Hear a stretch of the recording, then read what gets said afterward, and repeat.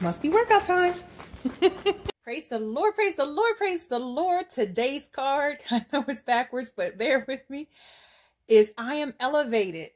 My awareness is always expanding as I rise to my highest good. When I talk about being elevated, because this is the card that I chose today, at random, it's not about exalting yourself over others. It's about elevating your thoughts, especially for self-love, towards yourself. Well, self-love is towards yourself.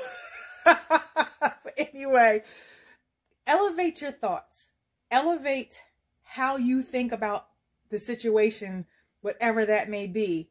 And watch that negative committee that meets in your head get evicted. I got to get my workout done. God loves you and so do I.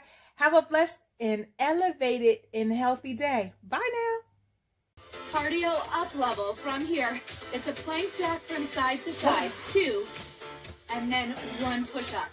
So it's plank jack modified push up or jack, jack, push up, breathe. It's a jack, a jack, and a push up. So I want to give you, it's gonna go breathless pretty quickly. That's where I want you. You can actually be breathless up to 45 seconds to help your heart and your lungs thrive. Let's do two more like that. If these weights hunch your shoulders, or cramp your style, or if it feels like it deprives you from thriving, that's okay. Set the weights down.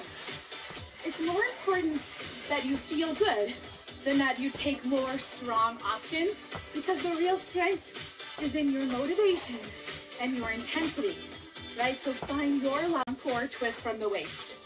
Every third one, I'm gonna add a knee. It's one, two, knee. One, two, knee on tempo. One, two, knee. You got it. Fire at that core. I am feeling my abs on fire. How are we doing back here? Good? How about you, Amanda? Killing it. Let's try again together. Up. Yes. So Dominique is showing that great level, getting low and high.